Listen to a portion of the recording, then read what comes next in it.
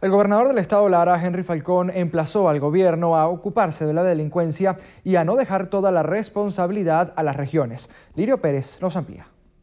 Acompañado de su gabinete de seguridad y el Estado Mayor de la Policía, Falcón reaccionó ante lo que llamó ataques políticos. Afirma que el gobierno nacional improvisa en el abordaje de la inseguridad. Señor presidente,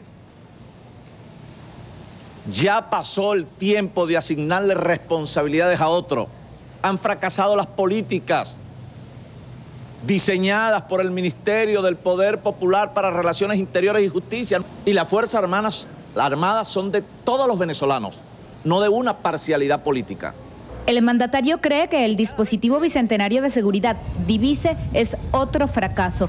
Dice que en la calle la única presencia es de policías de Lara. El gobernador volvió a poner a orden del Ejecutivo Nacional su plan de seguridad presentado en el Consejo Federal de Gobierno y tres proyectos de ley sobre desarme, depuración policial y reordenamiento penitenciario. En Barquisimeto, Lirio Pérez, Noticiero Venevisión.